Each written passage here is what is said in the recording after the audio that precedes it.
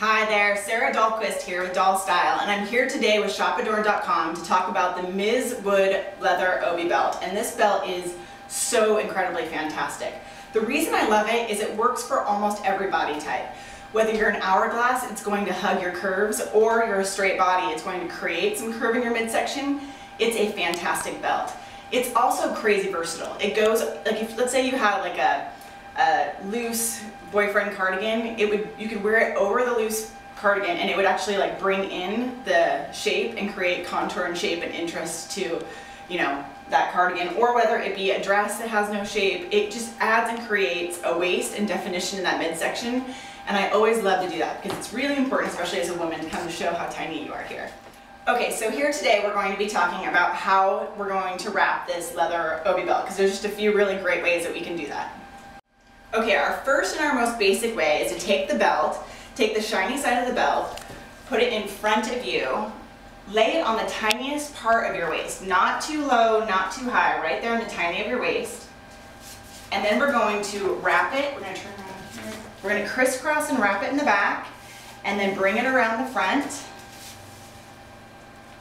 change sides, wrap, again, crisscross again, wrap in the front,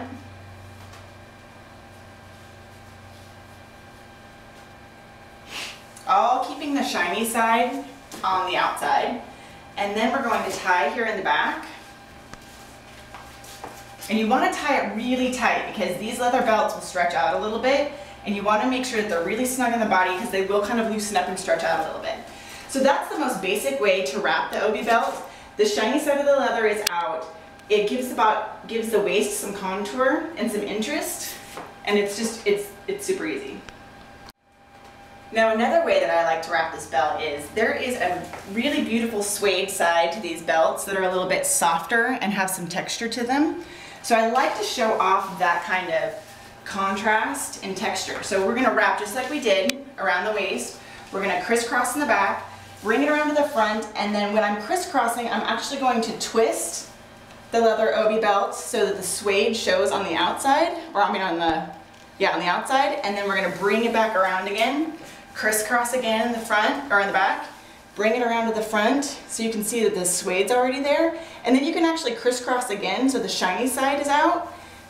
And the obi belt isn't one of those things where there's a right way to do it. You just need to kind of wrap it around, twist it, get it on your waist, and then get in front of a mirror and play with it.